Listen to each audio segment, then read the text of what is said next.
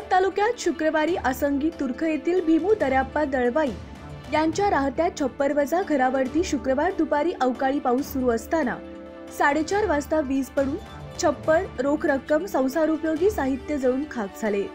अधिक माहिती अशी अवकाळी पाऊस आणि वारा सुरू असताना असंगी तुर्क गावापासून अर्धा किलोमीटर अंतरावर असलेले भीमू दर्याप्पा दळवाई यांच्या राहत्या छप्पर घरावर वीज पडून संसार उपयोगी साहित्य आणि रोख रक्कम जळून खाक झाले.